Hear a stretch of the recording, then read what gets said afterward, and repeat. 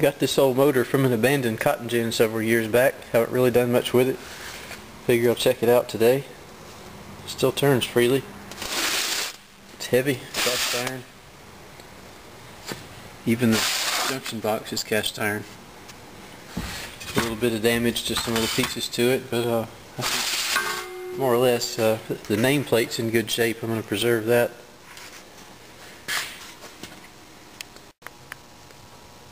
Electric Specialty Company. And if you look over here at this one, March 1957.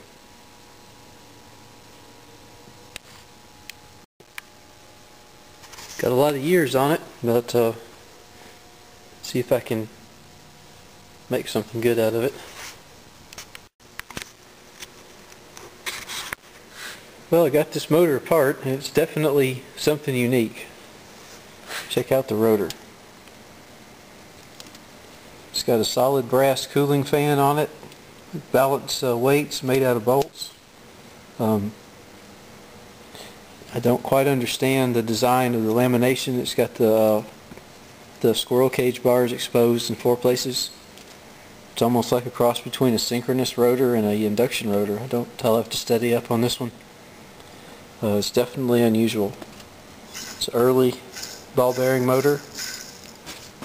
Bearings are a little bit, that one's a little rough, but they still roll. Um, winding, check the insulation resistance. 480 meg ohms, that's pretty good, you consider. Uh, cleaned it and put a little extra varnish on there and baked it. Everything looks good. Uh, got to go back together with it and make a test. Another thing, Looks like there was never any sort of centrifugal start switch on it anywhere. Um, don't have it here, but it had a really big box on top. Uh, must have had some kind of potential relay or some other way for it to kick out uh, the starting phase. Um, I'll figure out a way to, to make it run tonight for a quick test, but uh, I'm going to have to study up on what, how this is supposed to be wired and uh, in the story on this rotor. But uh, I've never seen one quite like it. Well, I'm going to test this thing. Um, I've already run it, just uh, trying to figure out the best way to hook up the capacitors to make it work. Um, I've got this potential relay on it. Kick out the uh, starting capacitor when it uh, it builds up voltage on the uh, on the starting winding, and then I've got a run capacitor hooked up. Uh, stays in the circuit after it starts running. I'm not sure if that's exactly how it's supposed to be wired. Um, I'm going to do some more research on it. But uh, plug it in, here goes nothing.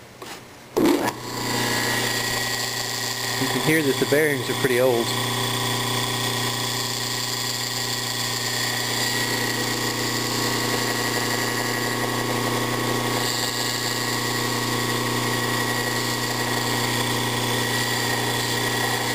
Stop it.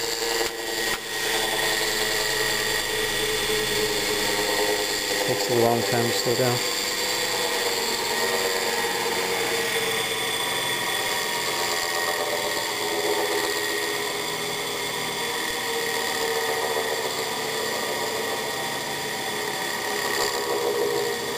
Got to get some new bearings.